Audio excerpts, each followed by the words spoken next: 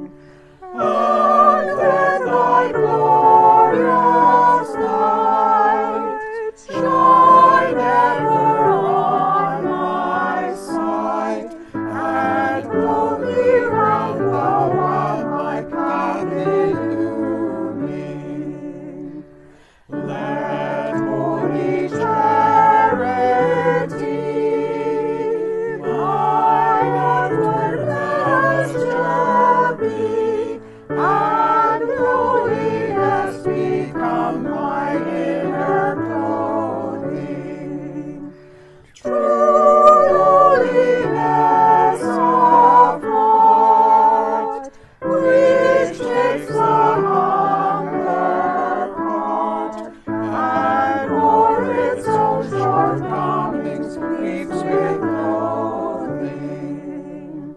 And so thy yearning strong, with which the souls will long, shall pour out past the power